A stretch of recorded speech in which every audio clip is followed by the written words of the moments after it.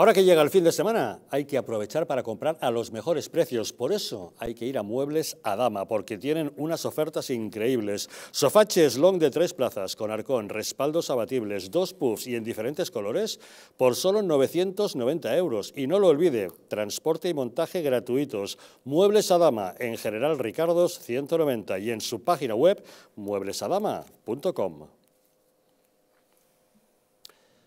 La Fiscalía Anticorrupción ha pedido a la Guardia Civil que acuda al Ministerio de Economía que dirige Nadia Calviño para recabar documentación relativa a las ayudas públicas de más de 900.000 euros adjudicados a la empresa Páginas Amarillas Soluciones Digitales S.A., en la que trabaja como alto directivo el marido de la ministra, Ignacio Manrique de Lara. Las ayudas fueron adjudicadas durante la pandemia sin que se llevara a cabo ningún concurso público. Este asunto está siendo investigado tras la denuncia presentada por el PP de Madrid por orden de la presidenta regional Isabel Díaz Ayuso, al igual que los contratos relacionados con los padres de Pedro Sánchez y los exministros Salvador Illa y José Luis Ábalos. Se trata de un total de 13 contratos adjudicados a siete empresas por un valor superior a los 326 millones de euros. Isabel Díaz Ayuso lo anunció en la Asamblea de Madrid ante los constantes ataques que dirigían contra ella, mientras que nadie parecía interesado en investigar posibles irregularidades en el entorno del gobierno de Sánchez. Así que lo que están haciendo es ensañamiento contra mi familia y contra mí para intentar desgastarme. ¿Y saben lo que creo que vamos a empezar a hacer? A investigar a todos. Si quieren saber la verdad, vamos a investigar a todos. Para empezar, les anuncio que el Grupo Parlamentario Popular va a llevar a la Fiscalía al menos siete empresas relacionadas con el Partido Socialista, con el entorno del presidente del Gobierno, del señor Illa, la vicepresidenta del Gobierno y su partido, para saber qué ha pasado durante la pandemia. Contratos que superaron los 326 millones de euros al erario público. Se administraron incluso mascarillas por un valor entre un 25 y un, 500% por encima de las adjudicaciones anteriores en un mismo momento. Por tanto, van a tener que dar ustedes muchas explicaciones. Curiosamente, el diario El País no menciona absolutamente nada de estas investigaciones en el entorno del gobierno de Sánchez. Y lo que lleva hoy a su portada es este titular. Los contratos de Ayuso causan un nuevo choque entre fiscalías. Bueno, da la impresión de que, en fin, no se habrán enterado de la otra noticia. El país tampoco despliega en portada con grandes titulares el escándalo que rodea a Mónica Oltra. A diferencia de lo que hizo con Rita Barberá o con Francisco Camps, a quienes dedicaron muchísimas portadas, el hecho de que la Fiscalía le atribuya a la vicepresidenta de Valencia un plan para ocultar los abusos sexuales de su marido con una menor no parece despertar su interés. Y eso que el Ministerio Público pide la imputación de Oltra por presuntos delitos de prevaricación, abandono de menores y omisión del deber de perseguir delitos. El informe de la Fiscalía es demoledor contra Mónica Oltra, que hoy, airada, ha contestado que cuando la verdad se convierte en increíble, el país tiene un problema de calidad democrática. Si para la Fiscalía la veritat de 13 persones és impossible, és inversemblant, este país té un problema. Quan la veritat se convertís en increïble, este país té un problema. I no té un problema només d'extrema dreta que està ahí fora manifestant-se, persones que estan ahí, sinó que té un problema de defensa democrática. Tenemos comunicación con Vicente Belvis, jefe de redacción de Valencia News. Vicente, ¿qué tal? Muy buenas noches. Hola, muy buenas noches, Javier. Estamos otra vez aquí. Bueno, ¿qué te parece que cuando la Fiscalía decide que ve indicios de delito en Mónica Oltra y que por tanto solicita su imputación, ella considera que eso es falta de calidad democrática en nuestro país? Bueno, imagínate las caras de todos los que estábamos, los periodistas que estábamos allí, en esa sala de prensa. Ojo, cada vez más llena también, no de periodistas, sino de asesores Hoy hemos podido contabilizar hasta cuatro asesores junto a Mónica Oltra, que ocupaban incluso la primera fila de, eh, que normalmente ocupamos los periodistas, que nos han relegado a las filas posteriores. Y imagínate la cara, la cara ha sido de asombro y sobre todo decir, es que usted es la vicepresidenta de la Generalitat Valenciana. Ojo, que tengo aquí el libro de PTT porque es muy gordo todo lo que ha dicho esta mañana. Esta mañana, además, eh, se reunía el TSJCV, el Tribunal Superior de Justicia de la Comunidad Valenciana, para empezar a dirimir sobre esto y cada día es todo más farragoso. Eh, una decisión que se, que se presuponía que igual se podía tomar hoy y que en principio nos decían que iba a estar para las dos y media de la tarde y no sabemos absolutamente nada al respecto. Se imagina que se esperará la semana que viene. Lo que sí sabemos es que desde Fiscalía el cabreo es monumental. Primero, porque la fiscal que han nombrado eh, eh, es la fiscal general de la Comunidad Valenciana, del Tribunal Superior de Justicia de la Comunidad Valenciana. Ojo, fiscal especialista en menores. Precisamente no es una fiscal que tenga fama tampoco por ser de derechas, más bien todo lo contrario. Lo que pasa es que el escrito de la, de la Fiscalía es rotundo y demoledor. Aún así, Mónica Oltra ha soltado estas pullitas de calidad democrática y, ojo, ha dicho que el problema, leo textualmente, es de calidad democrática, que si la Fiscalía no es capaz de ver que esas 13 personas imputadas actuaron bajo su criterio y su libertad, que tenemos un problema. Incluso ha dicho cosas tan graves como, eh, estoy leyendo textualmente a todo esto, no se ha leído un comunicado, supone que han redactado sus asesores, y ha dicho que se ha desdecido la versión que en un principio dio, que se había elaborado un informe, ahora dice ante el juez que no, no ha elaborado ningún informe. Es más, dice, lo que dije en su día es porque estaba bajo una presión emocional enorme. Y ha dicho, para finalizar, es injusto la instancia judicial que hubo contra mi marido el texto de la Fiscalía.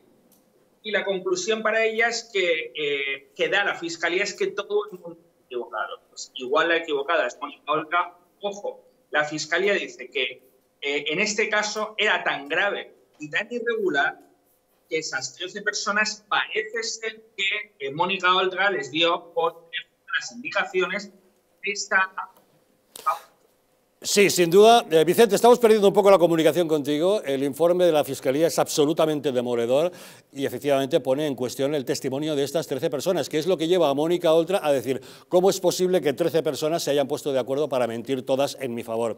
El caso es que se da casi por hecho que acabará estando imputada Mónica Oltra, puesto que este informe tan demoledor de la Fiscalía así lo solicita. Veremos el Tribunal Superior de Justicia finalmente qué es lo que determina, pero quien está mirando para otro lado es Chimo Puig, que en ningún momento se está planteando eh, cesar a su vicepresidenta.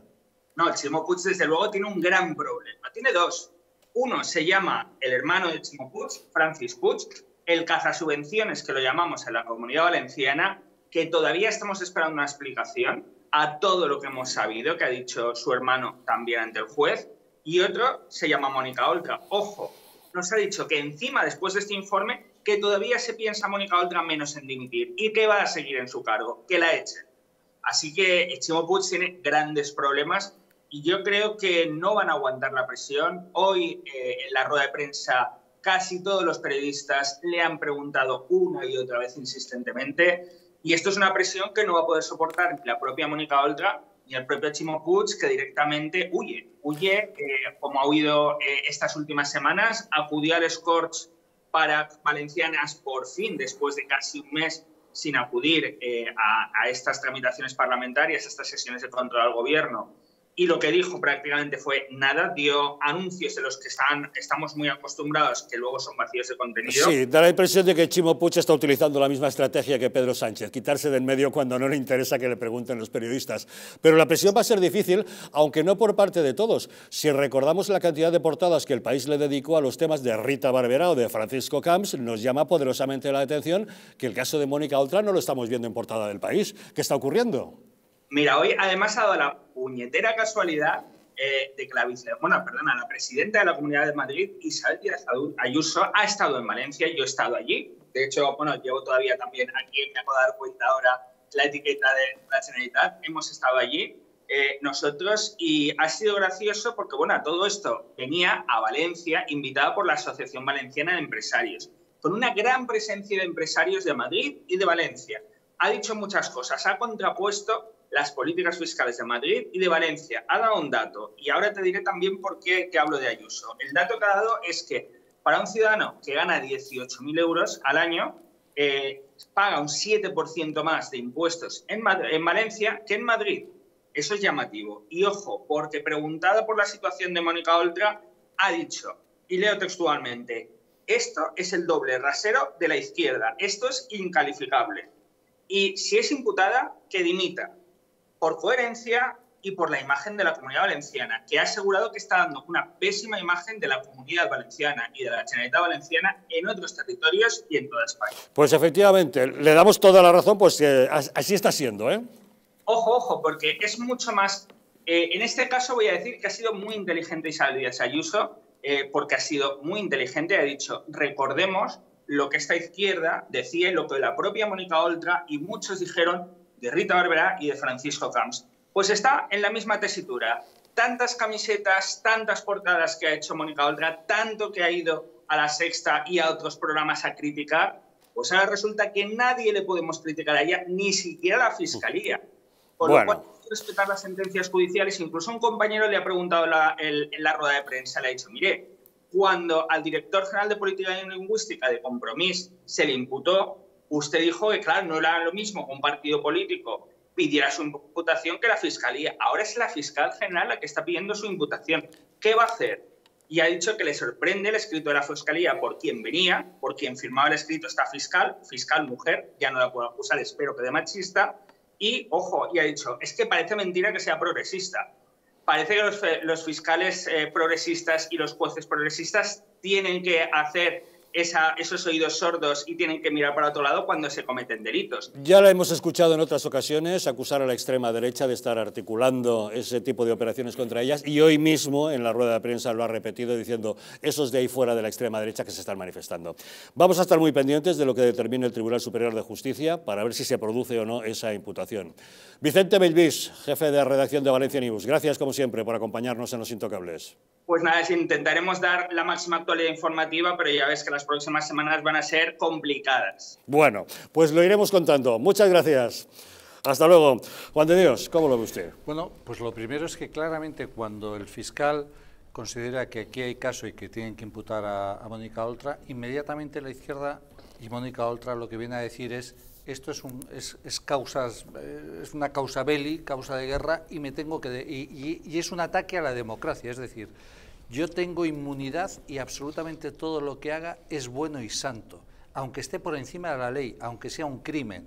Dices, no, si usted ha cometido un crimen o hay indicios de que ha cometido un crimen o que ha cometido un delito y el fiscal considera que hay indicios serios de que usted ha cometido un delito, como cualquier otro ciudadano español, usted va a ser imputada, va a ser investigada y veremos si tiene que ir a la cárcel por, aquello que ha hecho. Sin embargo, la respuesta de esta izquierda y de Mónica Oltra es no, yo soy de izquierdas, parece mentira que a una progresista la puedan acusar de un delito. No, Porque eso quiere decir que en España hay un problema de calidad democrática. Manda narices que haya dicho eso, don Pablo? Bueno, es que si ella dice que hay un problema de calidad democrática, es que no entiende absolutamente que hay división de poderes y que evidentemente la democracia parlamentaria va por un, lado y que la justicia va por otro y que son dos poderes totalmente distintos. Y, y, entonces es que no entiende nada la señora, es así de simple. Pero bueno, a mí lo que realmente me sorprende es que si la izquierda tiene una superioridad moral sobre todos los otros seres humanos que no pertenecemos a la izquierda. ¿Dónde está esa superioridad moral? Porque mire, en política, por lo menos nosotros conocíamos un dicho de sobra, que en política se pueden meter las patas, es decir, se pueden cometer errores, pero lo que no se puede hacer es meter las manos, por ejemplo. y lo que ha pasado aquí con, con esta señora Nadia Calviño es que, eh, bueno, con esos contratos, hágame el favor también. Entonces, bueno, la superioridad moral, por un lado, el marido de esta señora, y por el otro lado, los 13 contratos. Y, y quedamos todos absolutamente, pues no sé, ojipláticos, porque la superioridad moral no, casi que nos aplastaba. Aquí en España tenemos otro dicho, en política se puede hacer de todo, menos el ridículo. También. No sé, yo. David. Bueno, yo creo que esto es una política de familia, ¿no? Porque depende de la familia, depende de donde te toque, pues así se te va a mirar de una forma u otra. La solidaridad bien entendida empieza por la propia familia. Entonces, si eres eh, Díaz Ayuso y tu hermano eh, se le acusa de no sé qué, pues abre titulares, abre informativos, eh, abre redacciones, etcétera, etcétera, etcétera y lo abre sin sentido. Ahora, si eres el hermano de Chivo Pus, pues bueno, ahí está, ¿no? Es decir, este señor pasa por allí. Ahora, si eres el ex marido de Mónica Oltra, que ojo, es uno de los delitos más aberrantes que se han cometido eh, de todo este arco que podemos nombrar de, delitos o supuestos delitos eh, en el mundo político, eh, pues tampoco pasa nada. Es decir, y esa bueno, acuérdate que también el dinero del Estado no es de nadie. acuérdense, acuérdense de ese, Eso decía o sea. pero, pero yo le diría a la señora Mónica Oltra que la única cuestión que atañe o que afecta a la democracia es que gente como ella acceda a cargos públicos. Sí, claro. Es, así. Gente de este estilo pues esté allí. ¿Por qué? Porque han venido a la política a no hacer nada. Han venido a engañar al personal diciendo que iban a cambiar un sistema que no han cambiado, sino que encima se han beneficiado de él. Porque eh, sus compañeros, eh, Alberto Rodríguez, por ejemplo, imputado hasta la saciedad, no se fue hasta que no tuvo la condena encima de la mesa. Y esta señora va a ocurrir exactamente lo mismo. Hemos tenido un diputado de Vox que hace poco eh, ha sido absuelto eh, por, un delito que nunca cometió y se fue a la primera, a la primera. Es decir, no estuvo allí mareando la perdiz. Pero eso no se ve, eso no se ve. Sin embargo, estos, por otro lado, eh, bueno, pues no se van ni con agua caliente, pero es que es más sangrante aún todavía. Es decir, estos que venían a renovar la política, véase la señora Oltra o su amigo Pablo Iglesias, no han renovado nada. Recordemos a los espectadores que, por ejemplo, Pablo Iglesias dice, no, yo vengo a renovar la política. Bueno, pues ha cobrado la indemnización de, vicepresidente del gobierno, vamos, Martín Martini la pidió a la primera. Es decir, o sea, pues si usted viene a renovar, haga usted lo que ha hecho Mariano Rajoy, no cobrar el sueldo, por ejemplo. Y no es de izquierdas, Mariano Rajoy. Entonces, bueno, eh, es aberrante que una señora vicepresidenta cuestione al Poder Judicial cuando debe, eh, precisamente, los que más respeto tienen que tener al Poder Judicial es precisamente los políticos. Y es de los que menos respeto tienen, porque estamos viendo cómo los independentistas catalanes hacen de su capa un sallo con el tema de la cuestión de lingüística. Esta señora, en un asunto tan grave, viene a decir que es que yo soy de izquierda, me atacan, pobrecita mía, que estoy fatal de lo mío. Y claro, es decir, esto es una anomalía democrática. No, mire usted, no. Esto es una separación de poderes y usted eh, eh, tiene que tomar eh, conciencia de lo que le está ocurriendo. Entonces, ya no le está acusando a nadie, le está disparando con balas de cañón la fiscalía. Luego, ponga sus barbas a remojar. Bueno, veremos en qué termina todo esto. El caso es que, como ustedes saben, finalmente la Fiscalía ha decidido pedirle a la Guardia Civil que investigue y que entre, por ejemplo, en el ministerio que dirige a la propia Nadia Calviño para encontrar esos contratos adjudicados a la empresa en la que trabaja su marido o que se investiguen aquellas presuntas irregularidades cometidas por empresas próximas a Salvadorilla. ¿Terminará con un indulto, por ejemplo? Bueno, primero tendrá que haber una condena Terminará con un indulto y apología del delito, sí, claro. que es como suelen hacer. Indultan y además hacen apología del delito que han cometido. Pues para eso primero tendrá que haber una condena. Sí, bueno, claro, porque, momento hay la cosa es muy grave. Como ustedes saben, que la Fiscalía mande a la Guardia Civil a investigar no quiere decir nada. No hay una imputación todavía, no hay nadie citado. Pero sí saltan las alarmas. Pero hay indicios de delito. Al 3.500% la reventa de los productos eh, traídos a España por la crisis. O sea, eso ya está cantando y cantando, muy mal y muy mal. Porque efectivamente mucho se ha hablado de esas decisiones que se tomaron en los inicios de pandemia, una pandemia que por cierto cumple ya dos años y medio desde que se inició. ¿Se acuerdan ustedes? La de cosas que han pasado todo ese tiempo, por la de sentimientos que hemos estado atravesando desde la sorpresa inicial, la incredulidad, la soledad, la tristeza de ver que morían nuestros seres queridos sin tan siquiera poderles acompañar, la rebeldía en ocasiones, la incapacidad de hacer otra cosa o de sentirnos que alguien estaba dirigiendo nuestras vidas. ¿No se les ha ocurrido nunca escribir por todas esas fases por las que pasaron? Alguien lo ha hecho ha escrito un diario de pandemia soñando cuando esto acabe, porque algo nuevo nos pasará cuando todo esto haya acabado.